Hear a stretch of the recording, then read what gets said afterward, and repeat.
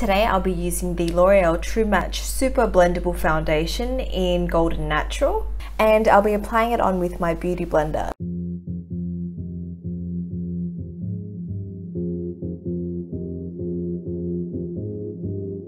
After that, I'm going to conceal and highlight my face using my L'Oreal True Match Concealer in Vanilla.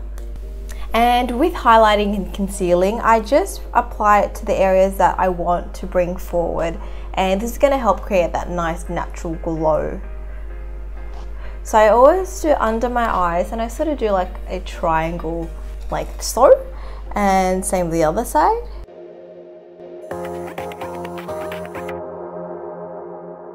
I also have some redness under my nose, so I'm gonna conceal there. Also, I like to bring my chin forward a little bit and just apply it underneath here. And lastly, just on my forehead and on the bridge of my nose. Just a thin line for the nose. So I usually do about there and do a little dot at the end. So I'm just going to blend it into my skin and I'm just using a tapping motion because I don't want to shift and move the concealer too much. And can you see once it's blended out, it creates more dimension to your face. So this part is the lighter part and then later we're going to go in and contour. So that's going to recede and sculpt the face.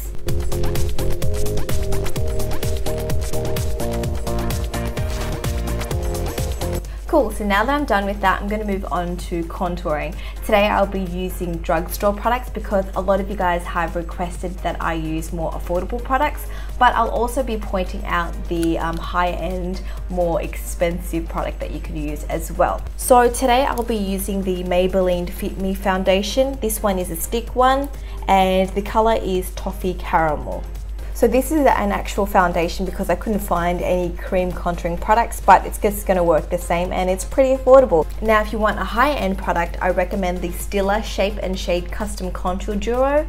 I like to use the color medium. With contouring, it all depends on your face shape and which areas you want to pull back and recede. So if there's a certain part of your face that you don't like, say your nose is, you think it's too big and you want to slim it down, you can slim the sides down and same goes for your forehead, for your jawline, but basically the ideal face shape is the oval face shape. So if you just draw an imaginary oval on your face, like so, Anything outside that oval you can pretty much contour if you're going for the ideal face shape.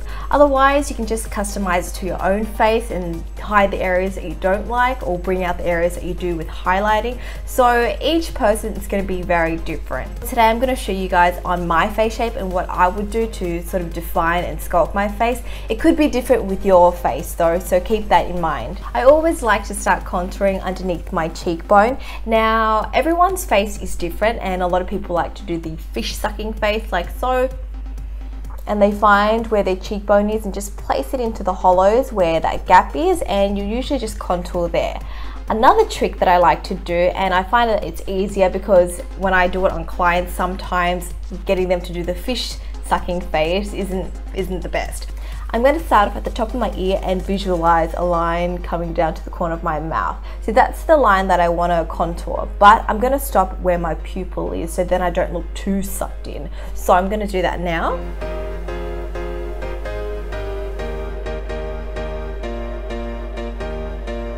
So I've just stopped where my eyeline is and this could be a little bit thicker if you want a really contoured look but basically the thickest part should be towards the ear and the thinnest part should be near the mouth so it should sort of taper. Cool. So keep in mind that if you go too high or too low, you can look out of proportion. So just make sure you remember that tip of the ear to mouth line.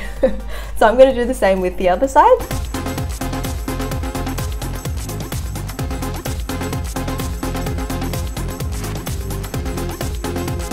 Next I'm going to move on to my forehead. Now I always like to sort of contour around the perimeters.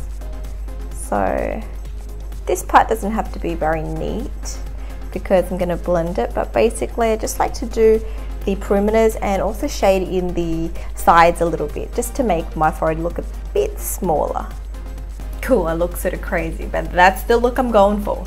Now I'm going to move on to my jawline and what I like to do is just follow my jawline. So I always start off in the corner and do the other side and just follow along there. Now if you want that really defined V shape and make your um, jawline a bit more um, slimmer, you can also just bring that contour up a little bit. Finally, I'm going to contour my nose. For this, I'm not going to use the stick directly. I'm going to grab a brush. I'm going to use my Sigma Large Shader Brush E60. And I'm just going to grab some of that product onto my brush. Now for this, you want to use a flat synthetic brush because we're using cream products and I'm going to draw two lines on the sides of my nose. So the closer that I draw those lines, the slimmer my nose is going to look. The further apart, the wider my nose will look. So I want my nose to look fairly skinny. So I'm going to go ahead and do that. I usually start off at the eyebrows and then just draw those two lines down my nose. So a good trick if you want your nose to look lifted is just to apply a bit of that cream contour underneath.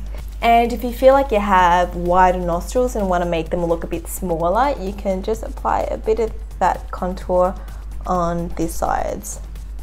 Cool, so I look a bit crazy, but that's the look I'm going for. Now it's time to blend it all out. Keep in mind that when you contour, you can obviously blend as you go, so you don't have to map out your face completely first. And it depends on the products because some products dry quicker than others. This one is still blendable though, so I'm gonna go ahead and grab my Beauty Blender and just blend it all together. Again, when I'm blending, I don't wanna move and shift the product too much, so I'm just gonna use tapping motions. When you blend the contour around your forehead, make sure you just blend it up into your hairline so there's no gaps.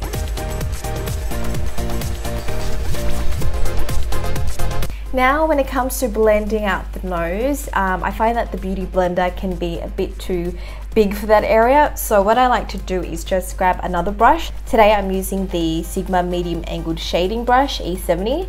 So this is a bit fluffier than the flat brush. And what I'm gonna do is just soften that line out and use this brush to blend it. So then I get a more precise nose contouring and don't forget to blend the nostril area out. Once you've blended out the contour lines, you would notice that your face looks more sculpted and possibly even slimmer looking. So you can just go ahead and set your base and everything on top with a translucent powder. Or if you really want to amp up the contouring a little bit, you can go in with a bit of contour powder to set the cream areas. Today I'm going to show you guys how to do that with the Maybelline Master Sculpt. So this one here is the medium dark shade. Now it does come with a little brush, so I'm just gonna dip that into the dark areas and just a little bit of that, not too much. Basically, I'm just gonna apply it over the areas that I applied the contour. So that's just gonna help set it and make the makeup last longer. So once the contoured areas are set, I'm just gonna apply a bit of the highlight shade onto the high points of my face. So I just apply it on the areas that I concealed. And that's pretty much it. Now let me just show you the before and after so you guys can see the difference. So that's it to this tutorial. I hope you guys have enjoyed another one of my videos. Please leave any comments and suggestions for future videos below. Maybe you guys want to see like some more smoky eye makeups or maybe this green smoky eye. If you want to see it, comment below and let me know. Also, if you haven't already, make sure you subscribe to